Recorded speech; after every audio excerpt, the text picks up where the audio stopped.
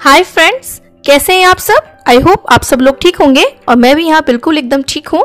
आज हम लोग जेठालाल जी का एकदम मनपसंद जलेबी फाफड़ा बनाने वाले हैं। भाई, जलेबी फाफड़ा तो बनता ही है ना? और जलेबी के बिना तो फाफड़ा अधूरा ही है। तो आज हम लोग देखने वाले हैं इसकी डिटेल रेसिपी कि कैसे हमें इसका डो बनाना है, यानी फाफड़ा का डो कैसे बनाना है, कैसे इसको बिल्कुल परफेक्टली हमें बेलना है अपने हाथों से और कैसे इसको फ्राई करना है। तो चलिए जल्दी से इस कमाल के वीडियो को स्टार्ट करते हैं। तो फाफड़ा बनाने के लिए सबसे पहले हमने लिया है एक कप बेसन।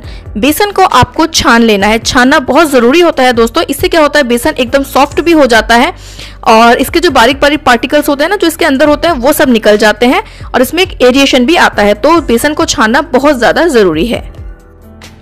इसके बाद में हम लोग इसमें ऐड करने वाले हैं एक छोटा चम्मच जितना अजवाइन। हमको हल्का सा उसको क्रश कर लेंगे हाथों से ही और उसको इसमें ऐड कर देंगे। बहुत ही अच्छा इसका फ्लेवर जाएगा।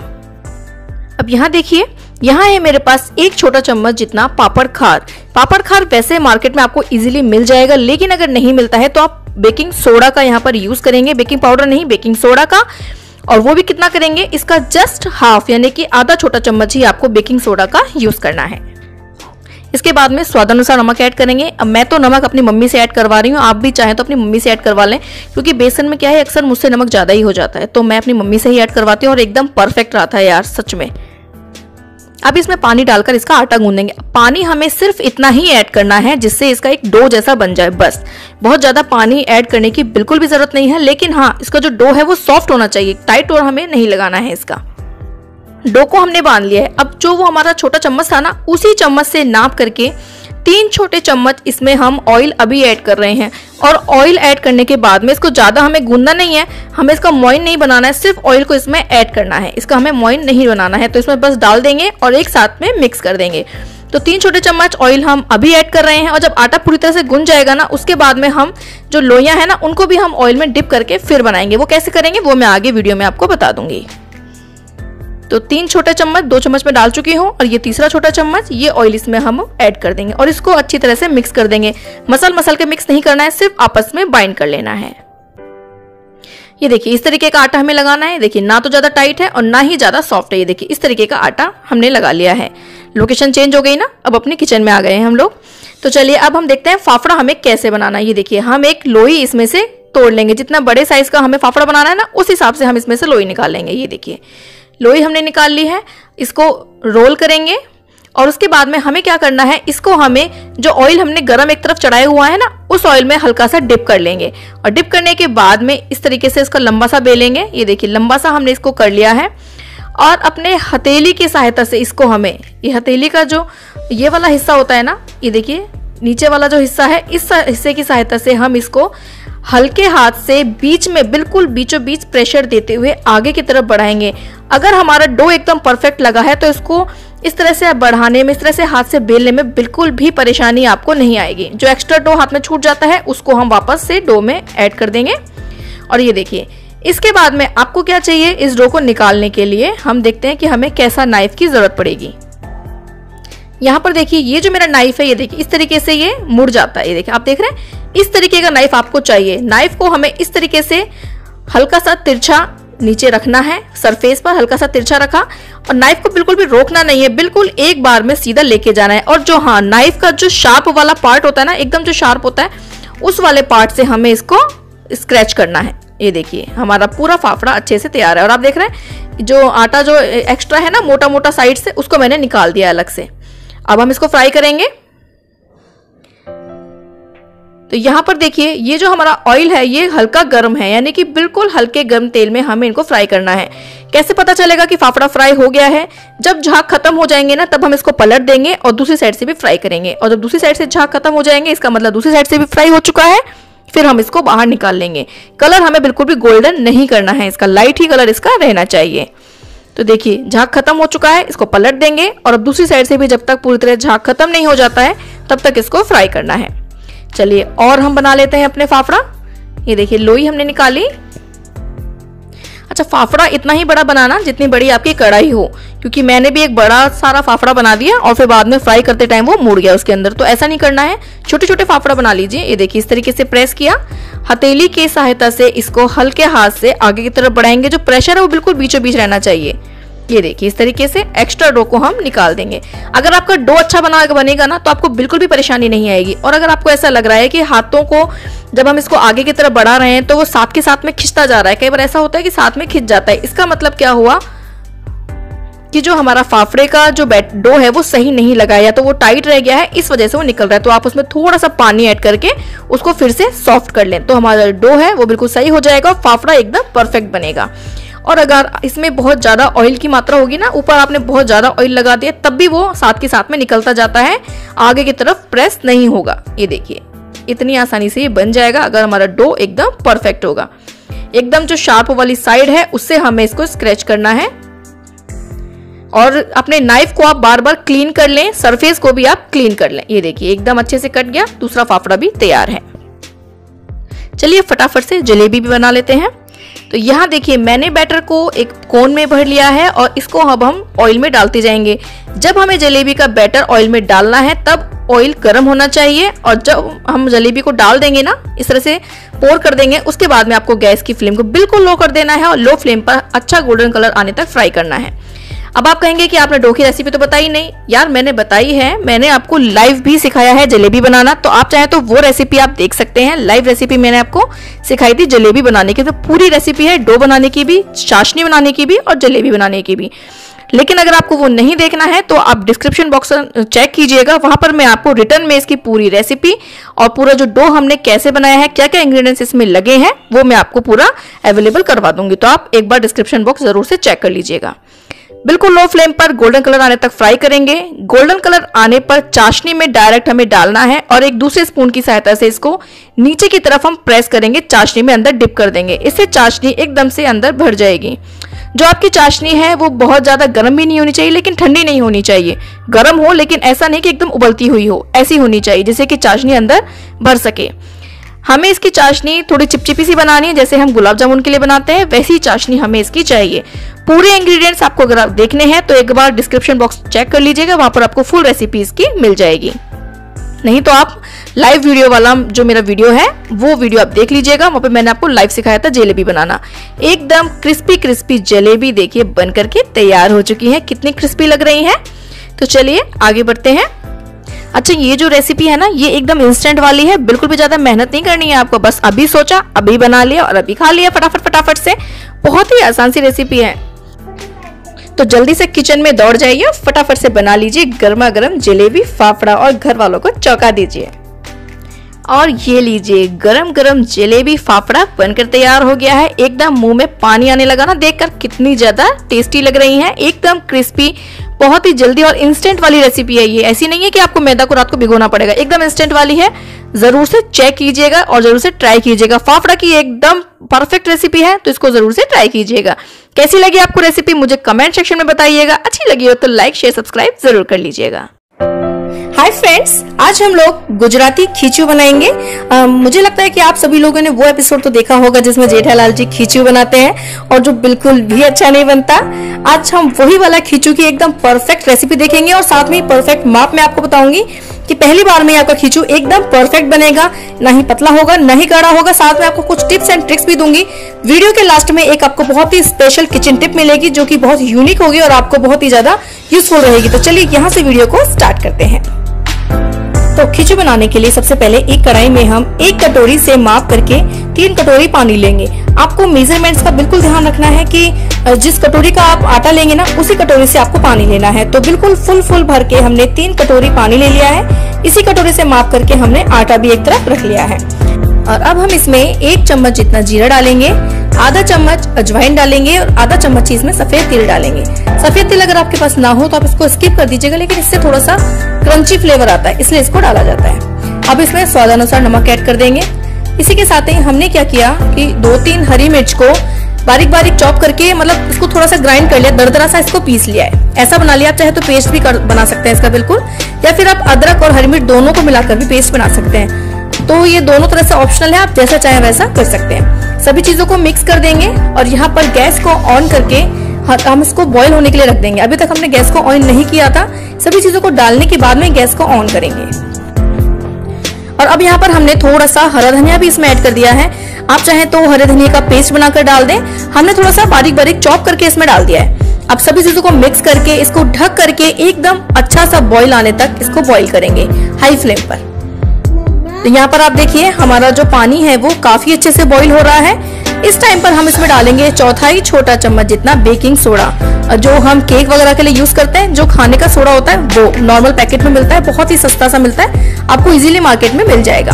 बेकिंग पाउडर नहीं, इनो नहीं, सिर्फ़ बेकिंग सोडा का ही यहाँ पर यूज़ करना है। अब यहाँ पर देखिए जिस कटोरी से हमने पानी ऐड किया था ना, उसी कटोरी से नाप करके एक कटोरी हमने चावल का आटा ले लिया है। आप चाहे तो मार्केट वाला चावल का आटा ले सकते हैं या फिर मैंने घर पर भी बनाना सिखाया है चावल का आटा वो भी आप यूज़ कर सकते हैं। इसको डालते के साथ में ही आपको पहले तो गैस की फ्लेम को एकदम कम कर देना है या तो या फिर आप बंद कर दें। दोनों ही कर सकते हैं आप। इसके अलावा आपको क्या करना है? एक बेलन लेना है। बेलन के पीछे वाले हिस्से से हमें इस तरीके से इसको कंटिन्यू चलाना है।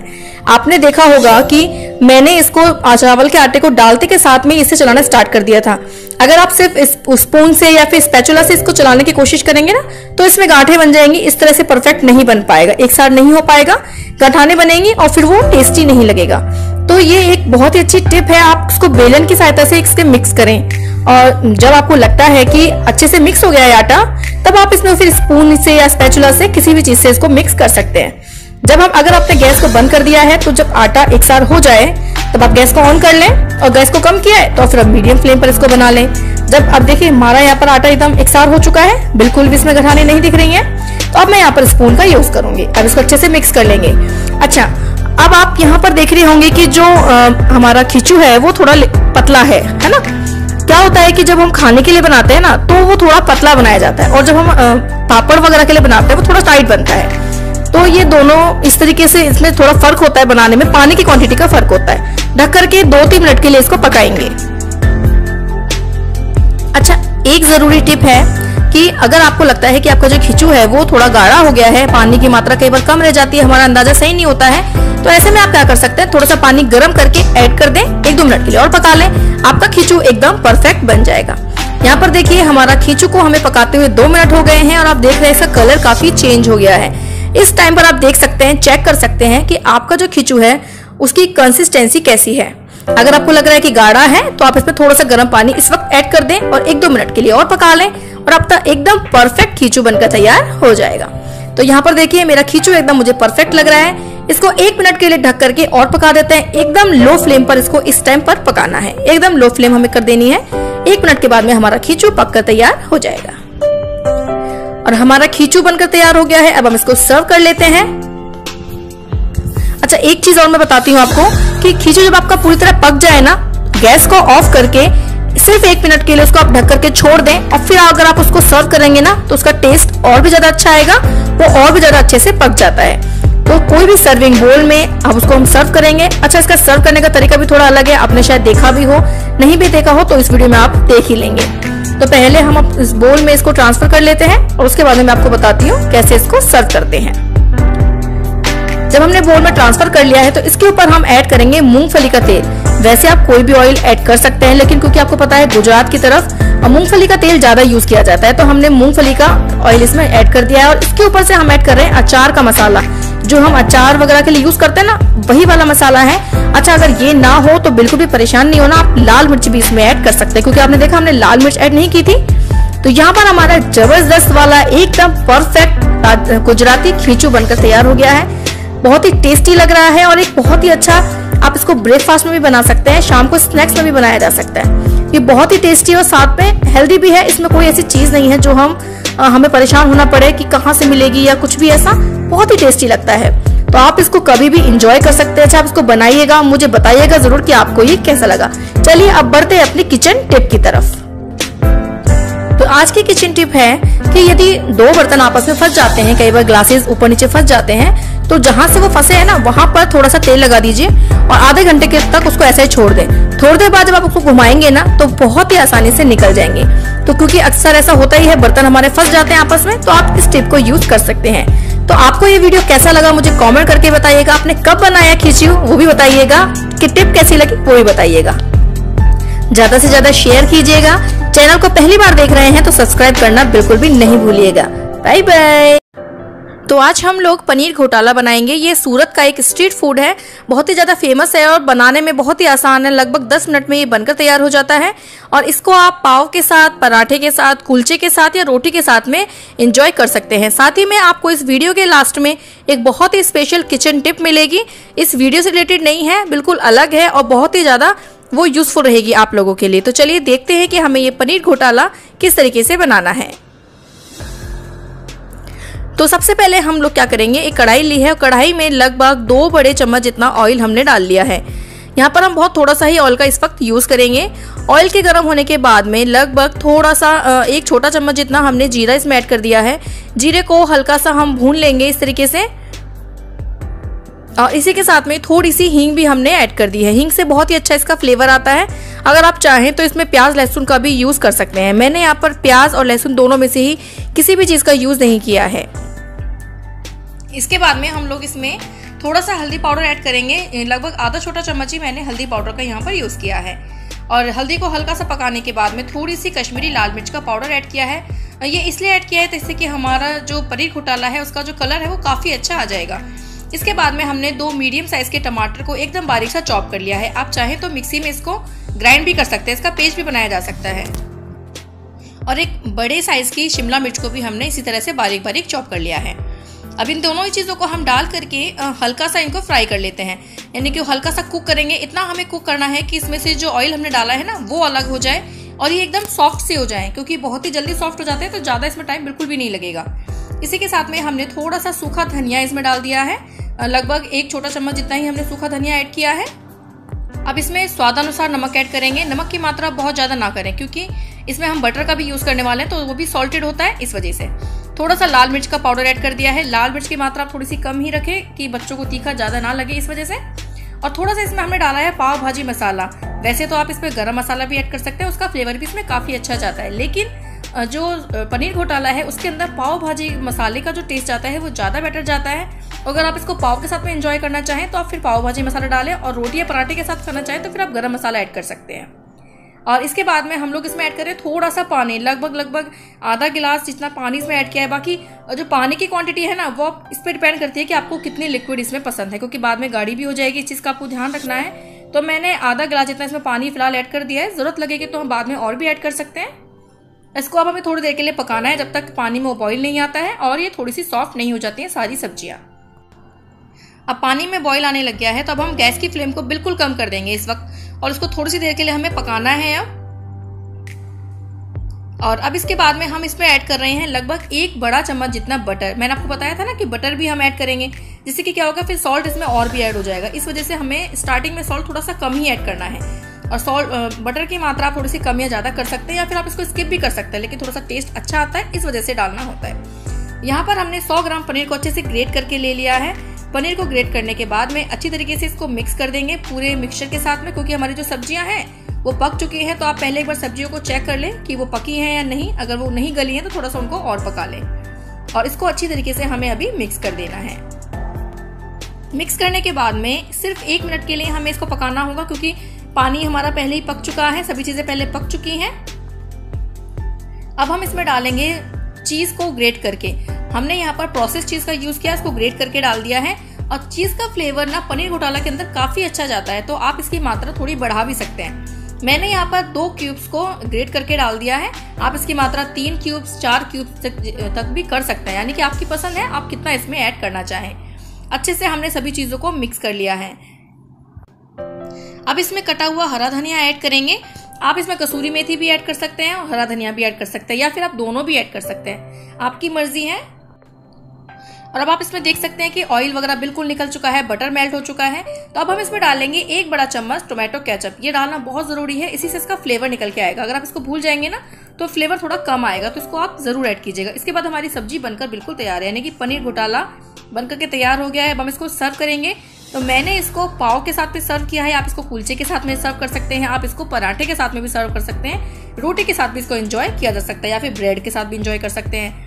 और इसके हम बटर के साथ में इसको सर्व कर रहे हैं। आप चीज़ के साथ भी इसको सर्व कर सकते हैं। और अभी वीडियो को बंद नहीं करना है। आगे हमें किचन टिप भी देखनी है। तो यहाँ पर हम थोड़ा सा पाव का पीस लेंगे और उसको हम अपने पनीर घोटाला के साथ में इंजॉय करेंगे और ये बहुत ज़्यादा टेस्टी लगा था। सच में दोस्तों, बहुत टेस्टी भी है और बनाने में बहुत आसान भी है। सिर्फ़ दस मिनट में ये बन जाता है। तो वीडियो को लाइक करना तो बनता ही है। साथ में अपनी किचन टिप देखते हैं। जब भी हम कोई चीज़ तलते हैं तो तेल काला पड़ जाता है। उसे साफ़ करने के लिए पहले तेल को ठंडा कर लें पूरी तरीके से और उसके बाद में तेल को दोबारा गर्म करके उसमें थोड़ा सा नींबू का रस ऐड कर दें। इससे क्या होगा? तेल बिल्कुल साफ़ हो जाएगा, एकदम पूरी तरीके से।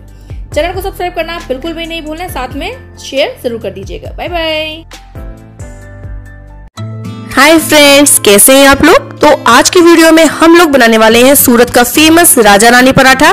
शायद आप लोगों ने इसका पहले नाम सुना हो या फिर ना भी सुना हो। ये इतना टेस्टी होता है दोस्तों कि इसके आगे पिज्जा बर्गर वगैरह सब कुछ भूल जाओगे। बनाने में थोड़ा सा यूनिक है। ऐसा पराठा शायद आप लोगों ने आज तक कभी भी नहीं खाया होगा। बहुत ही टेस्टी होता है, स्वाद इतना अच्छा होता है इसका कि मुँह में पानी आने लगेगा। तो चलिए देखते हैं। तो यहाँ देखिए, हम लोगों ने एक बोल में ले लिया है। यहाँ पर थोड़ी सी सब्ज़ियाँ मैंने ली है। तो बारीक कटी हुई पत्ता गोभी, बारीक कटा हुआ गाजर, बारीक कटा हुआ प्याज, शिमला मिर्च, हरी मिर्च, इसको अपने बारीक बारीक चॉप करके इसमें डाल दिया है। इसके अलावा अगर आपको और भी कोई वेजिटेबल्स पसंद हो तो वो आप इसमें ऐड कर सकते हैं। थोड़ी सी अदरक को हमने ग्रेट करके ले लिया आप चाहे तो लहसुन और हरी मिर्च का पेस्ट बनाकर भी डाल सकते हैं। अब हम इसमें डालेंगे थोड़ा सा नमक। लगभग लगभग आधा चम्मच जितना मैंने इसमें नमक डाला है, नमक को अच्छे से सारी सब्जियों में हमने मिक्स कर लिया है। अच्छा सब्ज़ियाँ जो हमने ली है, वो बिल्कुल उबली हुई नहीं है। कच्ची सब्ज़ियाँ हैं, उनको बस बारीक बारीक हमने चॉप करके ले लिया है। एक्चुअली क्या है कि इसकी जो क्लिप है ना, वो डिलीट हो गई है। इस वजह से मैंने सारी सब्ज़ियाँ आपको एक साथ ही दिखा दी है। तो आप देख सकते हैं कि जो भी सब्ज़ियाँ हम मंचूरियन वगैरह में यूज़ करते हैं ना, वो सारी सब्ज़ियाँ हमने ली है। तो नमक मिला करके हम इसको लगभग लगभग 10 मिनट के लिए ऐसे ही छोड़ देंगे, खुला छोड़ देंगे। हमें ढकने वगैरह की ज़रूरत नहीं है। एक्चुअली क्या है कि हमें इसके अंदर का पानी निकालना है, जितनी भी सब्ज़ियाँ हैं, जिससे कि हमको स्टफ़ करने में इसमें आसानी होगी। बहुत ही ईजी वाली स्टफिंग होती है इसकी। अब सबसे पहले हम लोग डो लगा लेते हैं। तो डो लगाने के लिए एक कप हमने मैदा लेनी है और उसी कप से नाप करके चौथाई कप लिया है बेसन और चौथाई कप ही हमें लेना है गेहूँ का आटा। और इसी के साथ में दो चम्मच हम इसमें डालेंगे सूजी अच्छे से क्रिस्पीनेस के लिए।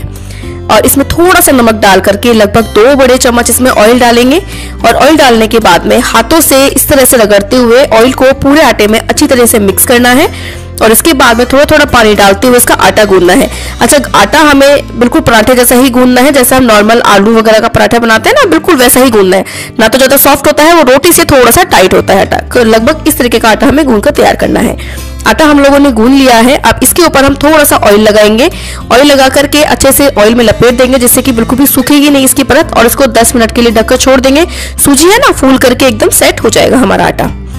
अब यहाँ देखिए, हमारी सब्जियों ने अच्छे से पानी को छोड़ दिया है तो अब हम देखिए, इस तरीके से दोनों हाथों के बीच में सब्जियों को लेंगे और इसको इस तरह से स्क्वीज कर करके पूरा पानी निकाल देंगे। इससे क्या होगा, हमें स्टफिंग करने में बहुत ही ज़्यादा आसानी हो जाती है इस वाले स्टेप से। सारी सब्जियों में से पानी निकाल दिया है और अब इसके अंदर हम ऐड करेंगे एक उबला हुआ आलू। आलू को हमने अच्छे से बॉईल कर लिया है, छील लिया है और उसके बाद में ग्रेट करके डाल रहे हैं। आप इसको ऐसे भी मैश करके डाल सकते हैं ग्रेट करके डालने से बहुत सही रहते हैं। इसी के साथ में थोड़ा सा पनीर लिया है। पनीर को भी हम ग्रेट करते हुए इसके अंदर मिक्स कर देंगे। और इसी के साथ में हम लोग डाल रहे हैं प्रोसेस चीज़ चीज़ को भी हमने इस तरीके से ग्रेट करके डाल रहे हैं। आपके पास प्रोसेस चीज़ नहीं है तो आप चीज़ स्लाइस का यूज़ भी कर सकते हैं इसके अंदर स्टफिंग के लिए। अब इसी के साथ में हम इसमें कुछ मसाले डालेंगे। थोड़ा सा हल्दी पाउडर थोड़ा सा लाल मिर्च का पाउडर धनिया पाउडर साथ ही में थोड़ा सफ़ेद नमक, काला नमक, भुना हुआ जीरा, चाट मसाला और थोड़ा सा गरम मसाला। इन सभी चीज़ों को डाल देंगे और डाल करके अच्छे से मिक्स कर ले। है ना? कितनी आसान सी स्टफिंग एकदम पाँच मिनट वाली स्टफिंग है। इसमें कोई हमको कढ़ाई वगैरह चढ़ाने की ज़रूरत नहीं है। बस सभी मसालों को अच्छे से मिक्स कर लेंगे। आप थोड़ा सा हरा धनिया और स्प्रिंग अनियन भी उसमें ऐड कर सकते हैं। यहाँ पर हमने आटे की एक लोई बना ली है। लोई बना करके इसकी एक रोटी जैसी हम बेल लेंगे पहले। तो आटा एकदम परफेक्ट लगा है हमारा। बिल्कुल भी ना तो नरम है, ना ही टाइट है। अब यहाँ देखिए हम अपनी स्टफिंग इसके अंदर फिल करेंगे। एक टिप आपको देती हूँ। स्टफिंग के अंदर आप लगभग एक चम्मच जितना इसमें मैदा मिक्स कर लीजिए। उसके बाद में जब आप स्टफ़ करेंगे ना तो आपको बिल्कुल भी परेशानी नहीं आएगी। और ये वाली टिप आप किसी भी स्टफिंग के लिए यूज़ कर सकते हैं। जैसे आलू के पराठे वगैरह बना रहे हो तो उसमें भी आप यूज़ कर सकते हैं। ये बहुत ही अच्छी टिप है, आपको ज़रूर काम आएगी। अच्छा ये वाला जो पराठा है ना, आपको अगर सूरत में आप अगर आप लेने जाएँगे तो स्ट्रीट फ़ूड में ये लगभग लगभग ढाई सौ रुपए का एक पराठा मिलता है, जो कि हम घर पर आज बना रहे हैं भी सस्ते में, बहुत ही आसान तरीके से। और इसका स्वाद इतना बेहतरीन होगा दोस्तों, आपके मुँह में पानी आ जाएगा, सच मानिए। आपके बच्चों को तो इतना पसंद आएगा कि पिज्जा वगैरह सब कुछ भूल जाएँगे, वो इतना टेस्टी लगता है ये पराठा। बस अब हम इसको सूखे मैदे में लपेट लेंगे, और सूखे मैदे में लपेट करके पहले हाथों से फैला लेंगे। इससे क्या होगा? जो स्टफिंग है ना, वो चारों तरफ़ अच्छे से फैल जाएगी। ये देखिए, इस तरीके से वहाँ जो पराठा मिलता है, उसका साइज़ थोड़ा और बड़ा होता है। हमने तो घर के हिसाब से थोड़ा सा छोटा साइज़ का बना लिया है। और अब बेलन के हल्के हल्के हाथ से हम इसको पतला सा बेल लेंगे। कहीं कहीं से थोड़ी सी स्टफिंग निकल जाती है अगर तो कोई दिक्कत नहीं है, बिल्कुल भी परेशानी आपको नहीं आएगी। सिरके का पराठा हमने बेल लिया है, यहाँ पर हमने तवे को भी गर्म होने के लिए रख दिया था। इसके ऊपर डालेंगे हम थोड़ा सा मेल्टेड बटर आप मेल्टेड बटर की जगह पर ऑयल का यूज़ कर सकते हैं लेकिन जो आ, मिलता है सूरत में उसको अमूल बटर के साथ में बनाया जाता है तो आप चाहे तो बटर साथ बना लें घी से बना लें या फिर ऑयल से भी आप बना सकते हैं। पराठे को डाल देंगे और मीडियम फ्लेम पर हम इसको नीचे से हल्का सा सिकने देंगे। जब भी नीचे से सिक जाएगा उसके बाद में हम इसको पलट देंगे। तो यहाँ देखिए, ऊपर से कलर हल्का चेंज हो गया है, इसका मतलब नीचे से सिक चुका है तो इसको हम पलट देंगे मीडियम फ्लेम पर, दूसरी तरफ़ से भी सिकने देंगे, और इसके ऊपर लगाएँगे, फिर से हम अमूल बटर मेल्टेड बटर हमने यहाँ पे यूज़ कर रहे हैं। बटर से हम दोनों तरफ़ से इसको ग्रेस करेंगे, और इसको पलट पलट कर हमें क्रिस्पी होने तक अच्छे से कुक करना है। वहाँ तो क्या है कि बहुत ज़्यादा बटर वगैरह का यूज़ किया जाता है तो बटर की मात्रा आप पर डिपेंड करती है। आप चाहे तो बहुत ज़्यादा क्वांटिटी में डाल करके इसको एकदम अच्छा सा बटरी बना सकते हैं या फिर आप थोड़ा सा कम करके, थोड़ा सा अगर हेल्दी बनाना चाहे तो थोड़ा सा इसमें बटर वगैरह कम किया जा सकता है। वो आपकी चॉइस है पूरी तरह से। बस इसको दोनों तरफ़ से अच्छे से बटर लगा करके या ऑयल वगैरह लगा करके दोनों तरफ़ पलट पलट कर मीडियम फ्लेम पर अच्छा सा क्रिस्पी और गोल्डन कलर आने तक इसको कुक करना है। तभी इसका टेस्ट आएगा एकदम बढ़िया सा। सूजी डालिए ना तो एकदम क्रिस्पी सा बनेगा। उसका फ्लेवर थोड़ा सा अलग ही आता है, क्योंकि बेसन और सूजी दोनों ही हमने मिक्स करी है इसके साथ में। तो यहाँ देखिए एकदम क्रिस्पी सा हमारा पराठा बनकर के तैयार हो गया है। इसको एक प्लेट में ट्रांसफ़र कर लिया है। अब इसको सर्व करने का तरीका एकदम अलग होता है। एक पिज्जा कटर की हेल्प से इसको बिल्कुल पिज्जा की तरह पहले कट कर लेंगे। उसी तरह जैसे हम पिज्जा को कट करते हैं ना तो हम उसकी स्लाइसिस बना लेंगे। तो हम इसमें से एट स्लाइसिस बना रहे हैं। आप इसमें से फोर भी बना सकते हैं। इस तरीके से इसको हमने कट कर लिया है, ये देखिए। और आपको दिखने में लग रहा होगा कितना क्रिस्पी सा है। जब काट, काटेंगे ना आप इसको, तभी आपको लगेगा कि कितने ज़्यादा ये क्रिस्पी बना है। अब इसके बाद में हमें क्या करना है? उसी तवे को हमने फिर से गर्म कर लिया है और उसके अंदर डालेंगे हम फिर से तो बटर डालेंगे हम फिर से। और इस वाले स्टेप में अगर आप बटर का ही यूज़ करेंगे तो फ्लेवर थोड़ा ज़्यादा अच्छा आएगा। तो बटर को हम हल्का सा मेल्ट होने देंगे और उसके बाद में क्या करेंगे? जो हमारी बची स्टफिंग थी ना, उस स्टफिंग को हम इस बटर के अंदर डालेंगे और इसको हल्का सा हमें भूनना है। ये वाला स्टेप बहुत इंपॉर्टेंट है। इसको आप बिल्कुल भी स्किप मत कीजिएगा और उसको बटर के साथ में अगर आप भूनेंगे तो उसका फ्लेवर बहुत ही ज़्यादा अच्छा आएगा। तो बटर के साथ में इसको हल्का सा लो फ्लेम पर भून लेंगे। बहुत ही हल्का सा। आप चाहे तो इसमें और भी मसाले ऐड कर सकते हैं। इस टाइम पर अगर आपको नमक, मिर्च, चाट, मसाला वगैरह थोड़ा कम लगता है तो आप इस टाइम पर और भी ऐड कर सकते हैं। तो बस हल्का सा इसको रोस्ट कर लेंगे हम मीडियम फ्लेम पर। और उसके बाद में गर्मा गर्म स्टफिंग को हम पराठे के ऊपर डालेंगे। ये देखिए, इस तरीके से है ना? बिल्कुल एकदम यूनिक सा पराठा। कभी देखा ऐसा? हम जब घर पे बनाते हैं तो ऐसा पराठा बिल्कुल पिज्जा जैसा ही लगता है, लेकिन पिज्जा नहीं, पराठा है ये। बहुत ही टेस्टी लगेगा। बस स्टफिंग को अब हम पलटी की सहायता से पूरे पराठे पर अच्छे से फैला देंगे। यानी कि अच्छे से चिपका देंगे इसको। पराठे के ऊपर एकदम गर्मा गर्म है। तो सर्दियों में तो इसको खाने का मज़ा अलग ही हो जाएगा। आप सर्दियों में इसको बनाइएगा, आपको बहुत ही ज़्यादा पसंद आएगा। अब इस गर्मा गर्म पराठे के ऊपर हम डालेंगे थोड़ा सा पनीर को हम कस करके डाल देंगे ग्रेट करके, और थोड़ा सा प्रोसेस चीज़ भी इसके ऊपर ग्रेट करके डाल देंगे। वहाँ तो मतलब चीज़ इतना ज़्यादा डालते हैं कि पूरा कवर हो जाता है अच्छे से चीज़ से। आपकी मर्ज़ी है, आप चाहे जितना डाल सकते हैं इसके ऊपर। मैं भी इसको पूरी तरह से कवर करने वाली हूँ चीज़ की सहायता से। अच्छा अब मैं इसको सर्व करने के आपको दो तरीके बता देती हूँ। तो सबसे पहले तो हमने चीज़ वगैरह से इसको पूरी तरह से कवर कर देना है। और उसके बाद में या तो आप इस तरीके से, ये देखिए टोमेटो सॉस की मैं ये देखिए टोमेटो सॉस से इसको ऊपर से गार्निश कर रही हूँ, थोड़ा सा टोमेटो सॉस डालेंगे, साथ ही में थोड़ा सा चाट मसाला इसके ऊपर ऐड कर देंगे और उसी के साथ में आप चाहे तो थोड़ी सी म्योनीज भी इसके ऊपर इस तरह से स्प्रिंकल कर सकते हैं, यानी कि म्योनीज भी इसके ऊपर डाल सकते हैं और उसके बाद में हरे धनिया के साथ में इसको आप सर्व कर सकते हैं। तो कुछ लोग तो टोमेटो सॉस और म्योनीज वगैरह डालते हैं, अगर बच्चों को म्योनीज नहीं पसंद है तो आप इस तरीके से नहीं बना सकते हैं, जैसे मैं आगे आपको वीडियो में दिखाने वाली हूँ। तो आप चीज़ प्रोसेस चीज़ और पनीर दोनों को ग्रेट करके डाल लीजिए, उसके ऊपर डालिए थोड़ा सा चाट मसाला चाट मसाला जो ये है, ये हमारा होममेड ही है। आपको इसकी रेसिपी चैनल पर मिल जाएगी। इसी के साथ में थोड़ा सा हरा धनिया इसके ऊपर स्प्रिंकल कर सकते हैं। तो ये बिल्कुल सिंपल तरीका है, लेकिन बहुत ही ज़्यादा टेस्टी लगता है। अगर बच्चों को म्योनीज वगैरह नहीं पसंद, किसी को या फिर आपको पसंद नहीं है तो आप इस तरीके से सर्व कर सकते हैं। तो बस इसको कट करके मतलब कट तो पहले से किया ही हुआ है हमने। इसको हम दही के साथ में, हरे धनिया की चटनी के साथ में टोमेटो सॉस के साथ में सर्व करेंगे। और ये देखिए, एकदम पास से मैं आपको दिखाती हूँ। मतलब एक पराठा ना, एक जना तो खाने पे इतना भारी होता है। दो दो लोगों के लिए इनफ होता है एक पराठा। इतना बड़ा पराठा होता है, ये बहुत ही टेस्टी भी लगता है और इसको हम दही के साथ में टमाटो सॉस के साथ में और हरे धनिया की चटनी के साथ में सर्व करेंगे। तो इसका स्वाद जो है वो एकदम दुगना हो जाएगा। तो ये लीजिए, एकदम लाजवाब टेस्टी सूरत का फ़ेमस राजा रानी पराठा बनकर तैयार है। आपको आज का ये यूनिक सा पराठा कैसा लगा मुझे कमेंट करके बताइएगा, कब बना रहे हैं वो भी बताइएगा। अगर वीडियो अच्छा लगा हो तो लाइक शेयर सब्सक्राइब ज़रूर कीजिएगा। साथ में नोटिफिकेशन बेल को ज़रूर ऑन कर दीजिए।